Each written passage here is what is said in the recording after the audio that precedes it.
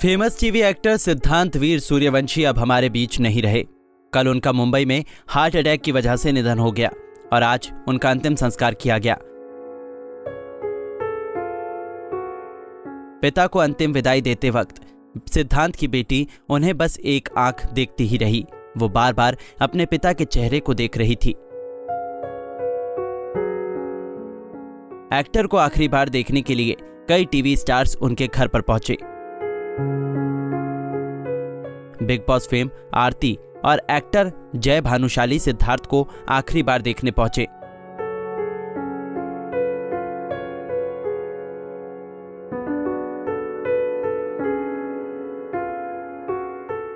Actor की बीबी और उनके बच्चों का रो रो कर बुरा हाल है। घर वालों और स्टार्स को सिद्धांत की अचानक हुई मौत से गहरा झटका लगा है। खबरों के मुताबिक जिम में वर्कआउट के दौरान उन्हें हार्ट अटैक आया। ट्रेनर और जिम में मौजूद लोगों ने उन्हें होश में लाने की कोशिश की, लेकिन जब उन्होंने रिस्पॉन्स नहीं किया तो तुरंत एंबुलेंस बुलाई गई थी।